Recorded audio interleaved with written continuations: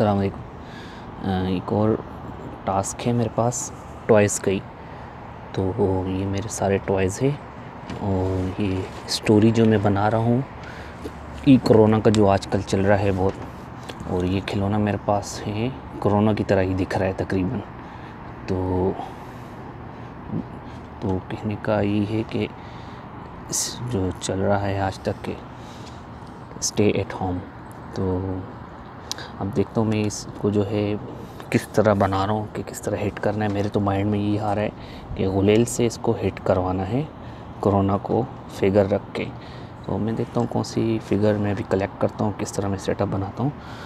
तो बताता रहूँगा साथ में, और ये निकॉन लेंस जो यूज़ कर रहा हूँ वो है eighty five M M one point eight ये सेटअप बन चुका है इस वक्त, कि ये लगा है हिट कर रहा है इस बॉल को, यानी कि कोरोना की शेप में है।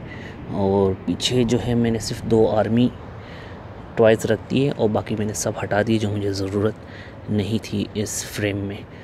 तो मैं सिर्फ़ ट्राई कर रहा हूँ कि देखता हूँ कि बैकग्राउंड कैसा आता है और कंपोजिशन में किस तरह रख रहा हूँ।